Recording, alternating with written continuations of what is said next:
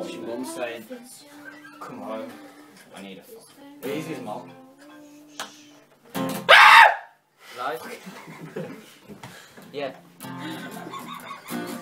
Here's a fetus. Like Christmas or something. Ian Barlow until 55. Oh, I enjoyed it when she went here. There's nothing I want to say.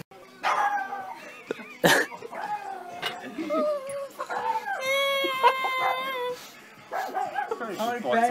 I'll fix it for you. Fucking watch them. Oh no. No, I'll fix it. I've got a page Darwin science. Nah, seriously, when I went up there, I thought it was like someone walking towards me and I got fucking scared. You wanna know a fact? the stars are white and so am I, so therefore I'm God. So hot. You know, she commented on a picture of my brother the other day. oh, it's just my picture. I give her a good go. Why Pepper White? Because he's better than Spider Man and Superman.